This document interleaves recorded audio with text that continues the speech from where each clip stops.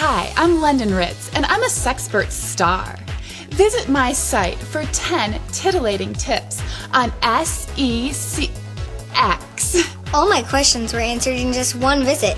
Now, I never wear underwear. Parents everywhere thank me too, because now they don't have to have the talk with their kids. And guess what? You won't have to either. Whose advice are your kids listening to? Make sure it's yours. Visit don'ttellmyparents.org.